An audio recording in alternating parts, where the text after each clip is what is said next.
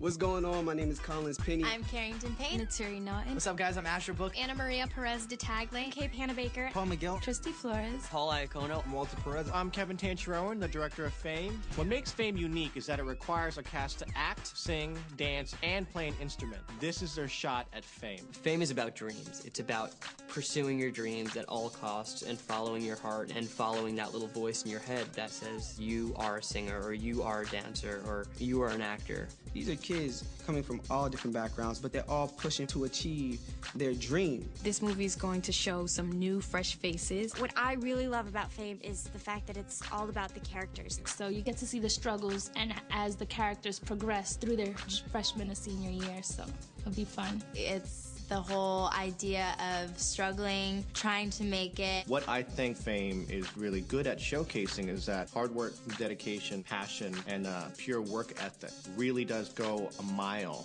when it's showcasing real talent. You really just need to follow your dreams. This movie, it shows you really put your heart and your, your soul into something, you can really accomplish anything. I'm so following my dream. It's unbelievable.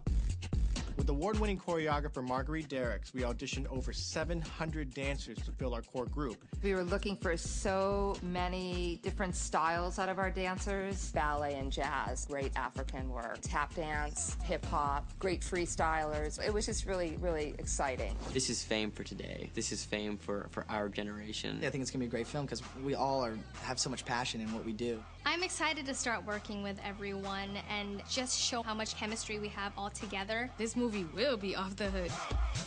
Welcome to Fame!